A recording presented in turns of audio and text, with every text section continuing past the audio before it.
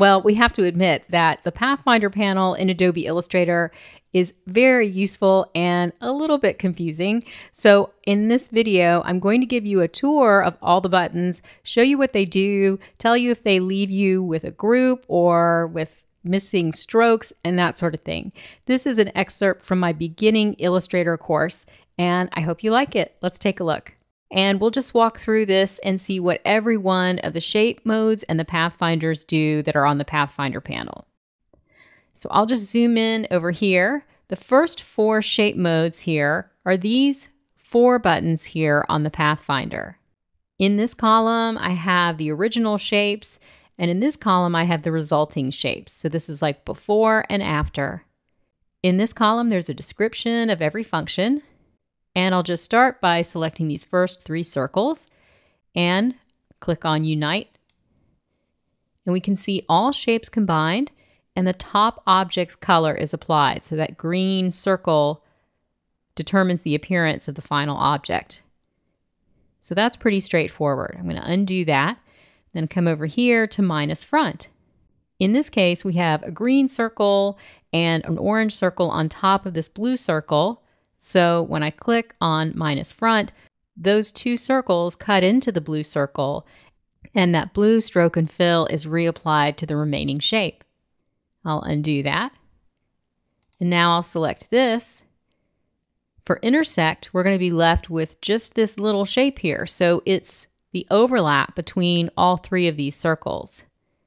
And this is the button here on the Pathfinder panel. All right, I'll undo that.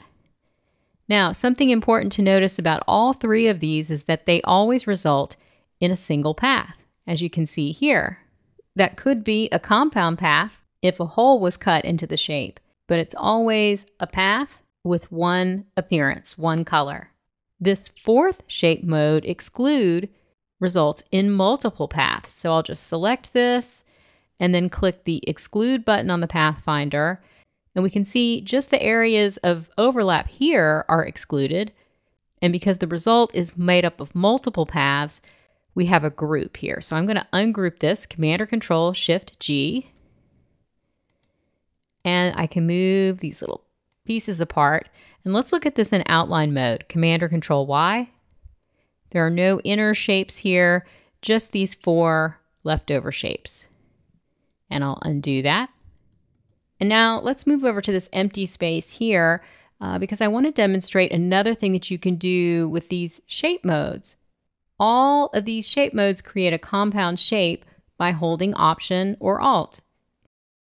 So any of these four shape modes, if you hold Option or Alt, you create a compound shape, which means that here I'm just drawing a collection of circles and I'll select all of these and let's unite them.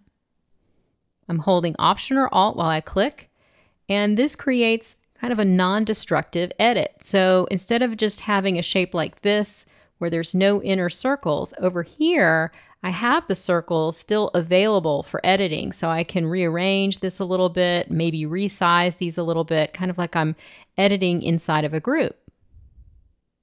So that is a compound shape, not to be confused with a compound path. And we can see that name right up here in the upper left corner.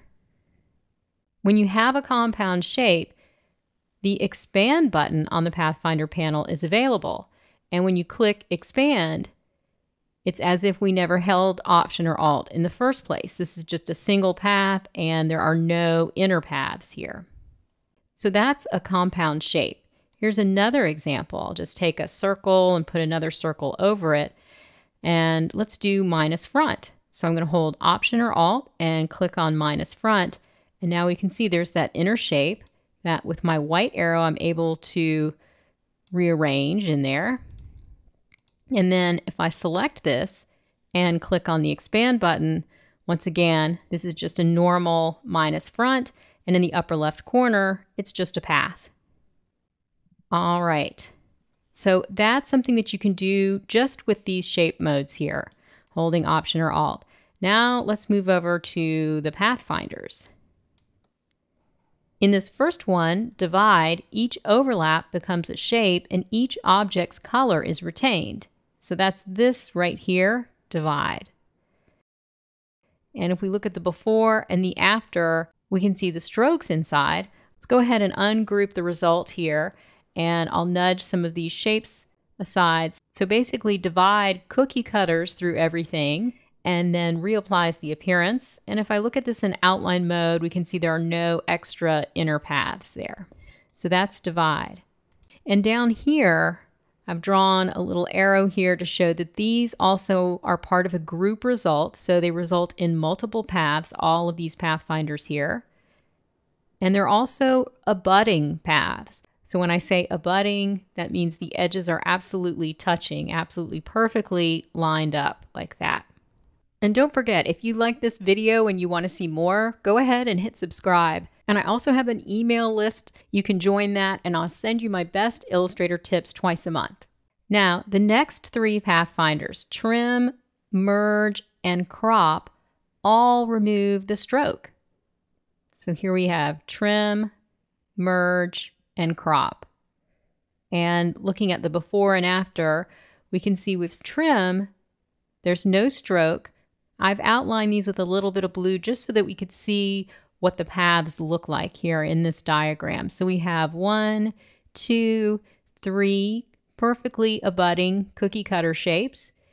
Their fill colors are retained, but the stroke has been removed. And if we look at this in outline mode, we can see the distinct paths there.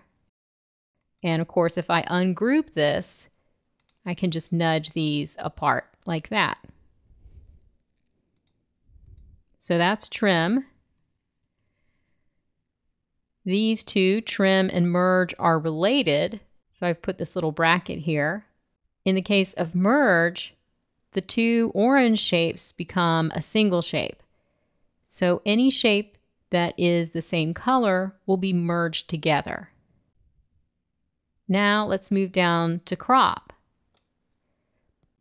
Crop also removes the stroke and like an expanded clipping mask, the top object cuts down through the lower objects, but leaves an invisible remnant shape. So this is one of those things that you'll have to be on the lookout for when you're working with crop. Let's go ahead and select the before here, and I'll come over to the Pathfinder panel and click on crop.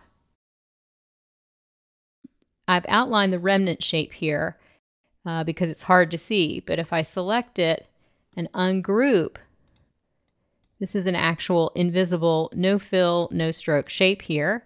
And then the other two shapes have been cut by the green circle. So that's crop. Now I'm going to just undo to get back to the original shapes.